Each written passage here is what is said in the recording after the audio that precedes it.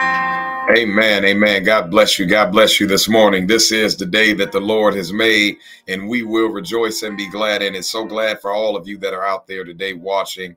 I pray the favor of the Lord be upon you today in Jesus' name. I don't know about anybody else, but the Lord is good and his mercy endures forever. I thank God for his mercy. I thank God for his grace, his love.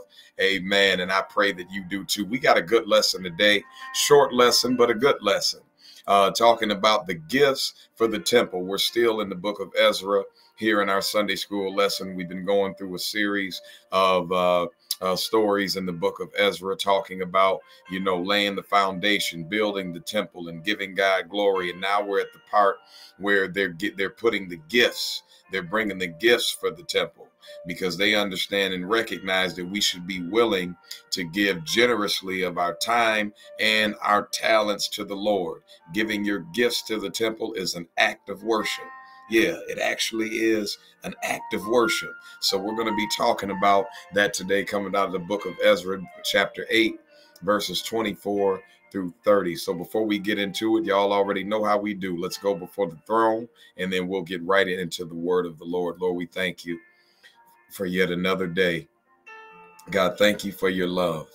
Thank you for your mercy. Thank you for your grace. God, thank you for your favor.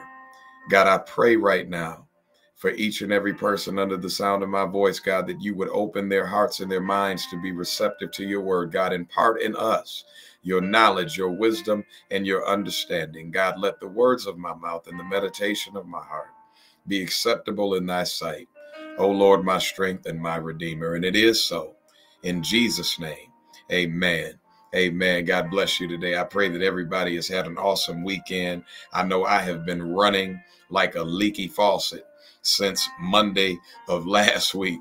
Amen. Uh, just, you know, with preparation, um, being in our new facility, which is so exciting. And if you are looking for a place to worship, you come on down to Harvest of Faith. We're located in Aurora 888 South Edgelawn in Aurora, Illinois, 888 South Edgelawn in Aurora, Illinois. God bless you today. But today we'll be talking about the gifts. So, the first six chapters that we had read um, in the book of Ezra record how the exiled people of the southern turn to Jerusalem. So now that that time period has passed and now they've gotten settled and everything is done, now their next order of biz to bring the gifts of God or for God into the temple. So we're going to start off reading uh, the first couple of verses, verses 24 through 27, and then we'll stop and we'll go ahead and we'll expound a little bit more on the scripture. I'm reading from the New Living Translation. It says, I appointed 12 leaders of the priests Sherebiah and Hashabiah, and 10 other priests to be in charge of transporting the silver, the gold, the gold bowls, and the other items that the king, his council, his official, and all the people of Israel had presented for the temple of God. I weighed the treasure as I gave it to them and found the totals to be as follow 24 tons of silver, 7,500 pounds of silver articles, 7,500 pounds of gold. Somebody say that's a lot of resources. So here it is, verse 20, verse 27.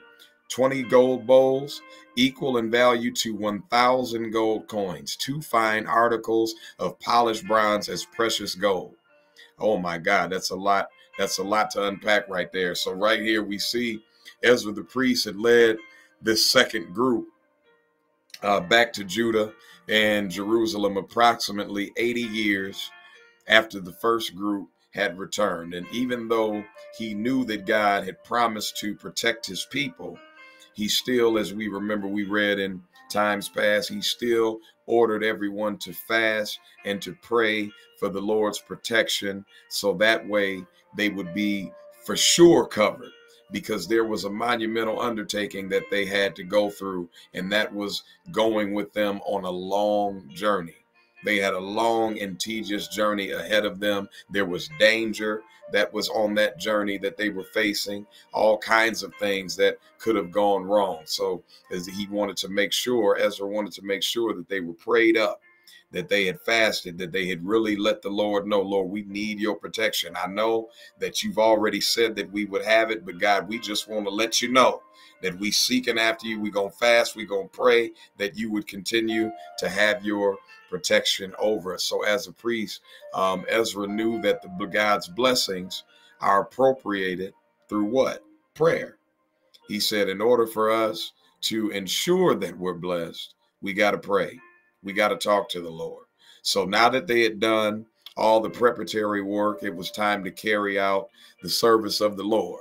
It was time to get the job done. So, in that, therefore, Ezra had appointed 12 leaders of the priests. You had Sherebiah, Hashabiah, and 10 other priests to be in charge of transporting all the gold, all the silver, all the bowls, all the other items. So he put them in charge of transporting everything that they were going to need to put into the temple. So, and there was a lot of stuff, as we just read. There was so much gold, it would probably make us our eyes buck, buck out our heads like, wow, but God provided them with so many different resources and so many different things that they had no other choice but to dedicate those things to the temple, to take these things to the temple. They didn't take them home. They didn't do like some people would have done and said, okay, I'm going to take a little bit, I'm going to put a little bit this in the bag. I'm to set this to the side and then I'll give God whatever's left. But no, they brought everything that they had. They brought everything that they had in their possession to the temple. And in order to make sure that everything got there in a timely manner, in order, Ezra made sure that he appointed the men of God. He said, Okay, I'm to appoint y'all because if you a true man of God, y'all the priests, I shouldn't have to worry about y'all stealing. He said, if I if I appointed, you know, maybe 12 people out of, you know, the tribe of Judah, you know, or or the or or the children of Israel, maybe I would have had to worry about, you know, something coming up missing. But he, he put them in charge, the men of God in charge of all of the resources. So they were in charge of a vast treasury. It wasn't no small change. It was 24 tons of silver, 7,500 pounds of silver utensils, 7,500 pounds of gold, 20 bowls equal in value to a thousand gold coins, all of this stuff. So they were in charge of that. That was that's a lot of pressure. Man, they like man. Look, Lord, they, they offerings down at the church. Uh, you know, I could use a little bit, a couple of these gold bowls, God. I could use, you know, a little bit of these resources here now. I take it to the pawn shop and see what happens. Amen. Amen. But they were entrusted with this. And what was interesting about it, when they were transporting all of these things to the temple, they didn't have military escort. It wasn't like before when they were going to into back to Jerusalem where they had military escort from the king. They did not have any military escort. So now you're traveling with all of this gold, all of this silver, you bling blinging, y'all standing out like a sore thumb, and there is no protection physical protection around them, no military support. They were on a dangerous route back to Judah and Jerusalem. Like they didn't take a peaceful and and and and serene route. They didn't they didn't take the suburb this uh, the suburban route. No, they they went through the hood. They had to walk through some dangerous ground in order to get this stuff back without a military escort. And how you know that God will protect you when you're doing his will is that they were able to arrive back at their destination without being robbed, without getting jacked. Nobody got killed. Nobody got hurt. That lets you know that it doesn't matter if you have people that have your back or not, military, your friends, whatever it is. God is always going to protect you when you do right. He's going to protect you when you're doing his will, when you're doing his work. People may be on your left side, on your right side, trying to bring you down and trying to destroy you or trying to kill you, but no weapon that is formed against you will be able to prosper. It probably was some folk that probably saw them passing by and wanted to jack them, but something, but but God's spirit probably made them go the other way, or it was a barrier around them that they didn't even know was there that the enemy couldn't get through. So therefore, they were able to get everything back to in order to dedicate to the temple safe and sound. God said, I need everything to come back with y'all. I don't need y'all getting robbed. I don't need anything crazy to happen. I need y'all to bring everything back. So to ensure that that happens, I'm gonna put a hedge of protection around you. Aren't you glad about the hedge of protection? that the Lord has put around us. I thank God that He literally protects us. Think about this, y'all. He protects us from danger seen and unseen. Think about the way they traveled. Think about the dangerous route that they had to travel back with all of that valuable merchandise. And yet there were probably dangers that they did not even see that God had protected them from, and they didn't even know it. That's why I love God, is because I know that at some point in my life, He protected me from something that I wasn't paying attention to. Whew, my God, He protected us from something that we didn't even know was coming against us, but He blocked it. And that's what makes God God. That's why we love him. That's why we praise him. That's why the children of Israel had no problem giving him worship. They had no problem building the temple, laying the foundation, giving God praise. Even though folk were crying and mad and sad, they had no problem because they understood that if it wasn't for his love and his protection, that they would not have been where they were at that particular moment. So let's continue to read on verses 28 through 30 here, and we almost through. says, And I said to these priests, You and these treasures have been set apart as holy to the Lord.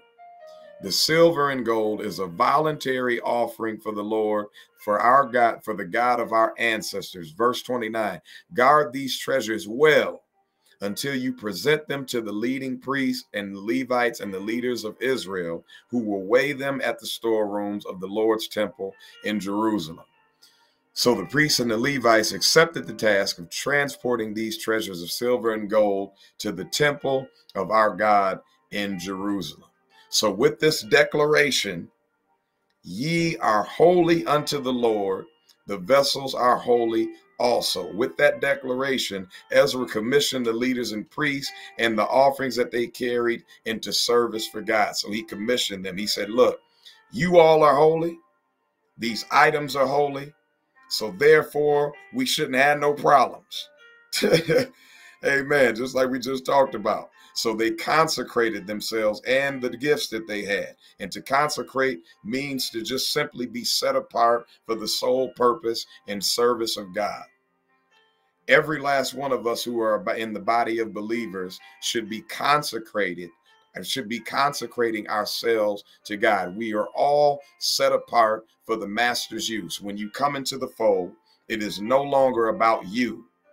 I know that's a tough pill to swallow because we got a lot of people to think everything is about them. But when you come into the fold, it is no longer about you, but it is about Christ. It is about God's agenda. It is about His will for your life, whatever His will is, not my will. No longer my no longer what I want, not my thine will be done. So we need to be consecrated for the sole purpose of just our service to God. So every object in the temple was to God. They didn't just bring the stuff in there and start setting it up, but they dedicated every item that they had, letting him know, God, we're saying that we're giving a, de- a declarative statement right now. We're saying that this all belongs to you. It doesn't belong to us. You're the giver of gifts. You're the blessing, not us. And we did the before we even moved to our new facility that we're in right now. We went in on a Friday night and we went forth in prayer. We laid hands on the walls. We anointed chairs. We anointed the altar. We dedicated that entire building to God because we understood, we understand that we didn't get here. We didn't get here because we're so good, but we got here because God is good. Don't forget, whatever God blesses you with, whatever He gives you, don't forget to consecrate it and dedicate it back to Him. Consecrate only what you have, but consecrate yourself. Set yourself apart, just like the children of Israel did here. So, also demonstrates how the king of Persia even obeyed and served God. This was a king that had no business even thinking about the God that we serve, but yet because God is who he is, he entered into this king's heart and caused this king to give the children of Israel everything that they needed in order for them to get where they needed to be. So, with his statement describing how the Lord stirred his spirit, the king was being placed in a position by God to set the stage for Ezra to return to Jerusalem. The king admitted, he said, I feel something. Something on the inside of me is making me is, is making me feel different. It's making me want to make different decisions and different choices. He said, I'm stirred. I, I, I, I gotta let them go. And not only am I gonna let them go back home, but I'm going to give them protection and I'm going to give them the resources to ensure that not only they get home, but they got enough resources to build the temple. And I'm going to allow the haters that don't even like them to have to sow into them. God is going to allow some folk that don't even like you to sow into your business. They ain't even going to know why they doing it. They just going to do it. They going to sow into your ministry. They don't even know why they doing it. They can't stand the pastor, can't stand the choir, but they sowing into the, they don't even know why they doing it because God ultimately is the one in control of all of us. He can use whomever he wants, whenever he wants, however he wants, in order to get his will across. So the king continued his declaration of obedience to God by saying, The Lord of heaven have given me all the kingdoms of the earth and he has put me in charge of building his house in Jerusalem. So the king recognized that even though I'm in charge of all of that I survey, he said, I would have none of this if God didn't put me here. He understood that God had put him in the right place at the right time to do what he needed him to do. God's timing is perfect. God's timing is immaculate let me tell you, he may not come when you want him. And I know we all know the song, a beautiful song, but it's true. He may not come when you want him. But I guarantee you, God is always going to be on time. He's an on time God. Yes, he is. I'm about to get happy off that. He's an on time God. He did everything in perfect timing.